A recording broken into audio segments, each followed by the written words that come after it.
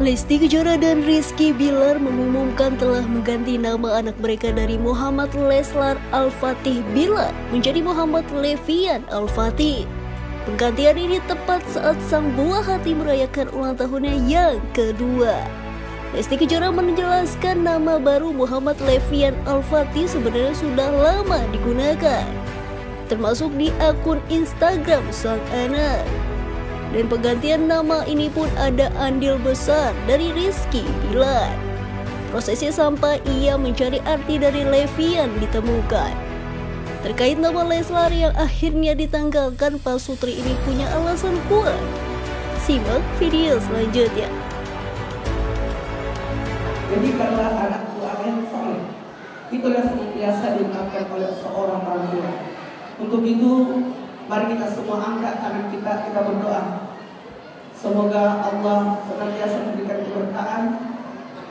Uh, berumur 2 tahun ya, masih tahu umur 2 tahun, uh, semakin banyak hal yang semakin lucu yang dia apa ya semakin banyak hal lucu yang dia lakukan sekarang. Semakin banyak pintaran yang dia lakukan. Mudah-mudahan dengan bertambahnya usia bisa membuat abang pelan-pelan tumbuh untuk jadi anak yang baik ya uh, hebat anak yang kuat anak yang cerdas. Dapat berapa kado hari ini? Aduh, belum lihat belum lihat. Belum unboxing belum hitung. Nanti kita unboxingnya di YouTube Lesnar jadi sempat umumin IG baru juga ya deh IG baru dan ganti nama. Ya ganti nama abang El. Ganti nama tuh sebenarnya bukan udah lama. Instagramnya juga udah adanya teh udah lama. Cuman sebenarnya aku sih papahnya yang ke, ke harus ada Instagram buat dokumentasi kenang-kenangan proses pertumbuhannya abang. Nah jadi aku pikir ya udah bikin aja. Tadinya aku nggak mau.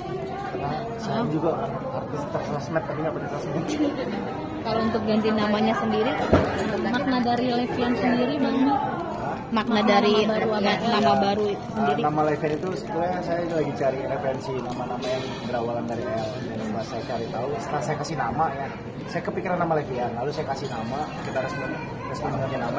Lalu saya kulik-kulik apa ya, itu artinya apa? Setelah saya nggak tahu artinya. Dan setelah saya, saya cari tahu, artinya sangat sangat banyak kebaikan dalam di dalam nama Levian itu secara numerologi. Salah satu adalah Levian itu berarti adalah seorang yang besar nantinya, mudah-mudahan amin ya. Orang yang bertanggung jawab terhadap uh, tanggung jawab yang diemban, orang-orang orang yang kuat, bijaksana yang nanti bisa bisa apa namanya? bisa merangkul banyak orang itu sih yang saya, dapatkan setelah cuma cari tahu nama arti. Dan mudah-mudahan itu bisa menjadi sesuatu doa ya buat uh, sesuatu harapan juga dari orang tua yang terhadap anaknya. dirayakan di pengiraannya untuk uh, pikiran namanya sudah sudah tahunnya misalnya sebenarnya ngebahas nama ini sudah dari awal dibikin terus pas udah abang lahir. Karena kakak tuh bilang aduh gimana ya ntar kalau ada adik-adiknya lagi masa ngapain ke Leslar lebih ke situ sebenarnya. Lebih ke situ takutnya cemburu. Karena tadi kan kita kepikirannya nama Lester itu nama nama nah lalu kita berpikir uh, apa namanya kalau kita kasih nama Lester untuk anak pertama lalu anak ada anak-anak berikutnya nantinya dia ngerasa aduh kok gua nggak dikasih Lester nggak dikasih nama Lester cuma abang gua doang. Gitu gitu lah namanya karena kita menghindari hal-hal itu sih.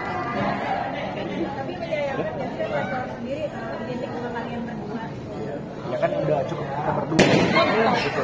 Toh lagi pula kalau untuk harapannya untuk menyambung legacy itu kan cukup di nama terakhir. Bilar sih. Ya dan dan dan kalau memang ada ada anak perempuan bisa dinamakan mungkin nanti akan ada kejuarannya gitu. Jadi memang saat, eh, kalau laki-laki identik sama bapaknya perempuan identik sama ibu yang sendiri Dede juga Gak apa-apa ya. Kalau nama tuh semuanya bapaknya. Sih, jadi uh, menyayangkan atau lebih ke enggak dong Pokoknya kalau selagi itu positif, kita kakak tuh selalu ngobrol. Maksudnya kita selalu ngobrol berdua untuk yang terbaik Apalagi ini nama anak gitu ya. Insya Allah selagi itu namanya baik Ya kita doakan aja. Diganti dengan angka-angkanya Udah, udah, udah lama. Makanya aku bilang ini namanya abang itu udah lama. Dari dia masih paspor udah? kan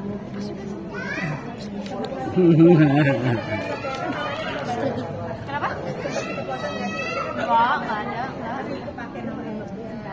enggak sih lagi pula kan orang udah eh, apa fans juga udah banyak yang mencium sebetulnya kalau kita udah mengganti nama cuma belum kita reveal baru hari ini. Kesempatan kali kita mengenal reveal. Sebenarnya tadinya juga maksudnya nggak nggak nggak mau dikasih tahu ya udahlah itu kan maksudnya urusan kita gitu. Tapi ya kenapa enggak ini kan kita berbagi kebahagiaan juga mungkin barangkali Dan jadi berharap doa doa juga ya. Di usia yang baru ini ada rencana nggak sih mau ngajarin abangnya apa gitu? Kan masih kecil juga ya.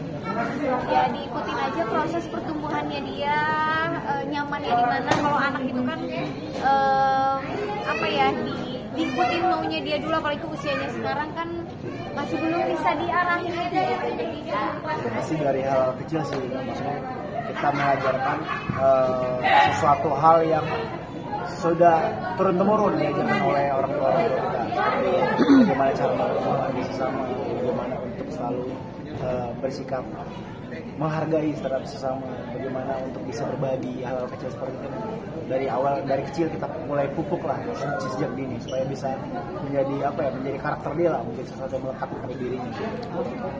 Karena mumpung masih kecil masih bisa dia masih sangat sangat bisa diarahkan. Apalagi sekarang kan lagi beo-beonya jadi sikap kita omongan kita juga kan benar-benar mesti dijaga banget karena dia lagi ikutin apa yang dia lihat Nah, karena anak kecil itu kan peniru terbaik ya. Jadi kita benar-benar sangat eh, apa ya sangat berusaha menjaga itu di rumah ya. Karena guru guru dia yang paling guru dia yang paling penting guru dia yang terdekat itu ya orang tuanya ini. konsepnya sepak bola Nah, berarti memang abangnya suka bola ya ya Terutama sebagai tertulis.